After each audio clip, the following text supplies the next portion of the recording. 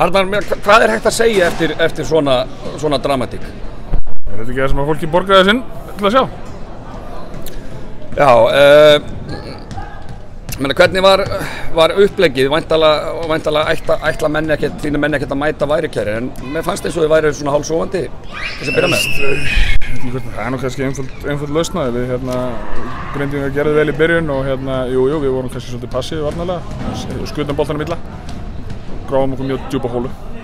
Já, nú, nú hefur allt, allt tal hjá já, spekulöndunum og, og kannski bara allir í þjóðinni verið á það leið að þetta er því bara gönguferð í garðunum eins og maðurinn sagði, 3-0 sópur bara. Um, auðvitað var það þitt, þitt uppleik en, en samt, nú, nú, nú, er þetta búið að breytast yfir í, yfir í bara best of three. Hvernig, hvernig líst þér á framhaldið?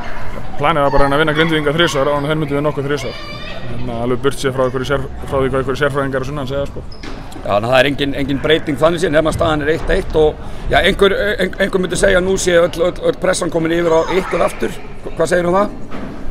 Ég bara veit það ekki alveg, sko. Þú Við, við erum með press á okkur sjálfum að reyna að vinna, vinna nýju köruboltalegi í þessar úslakefni og við erum konum með einn og, og það er bara áfram gakk alveg saman hvað, hvað, hvað það er. Við, hérna, við vitum að við þurfum að gera betur á miðvíkudaginn í, í áskarið. Ykkur, uh, þannig gekk, gekk hansi, hansi illa skora í, í, í- fyriráleik sérstaklega. Hverju, hvað, var það eitthvað nýtt í vörð grindvikinga eða hvað?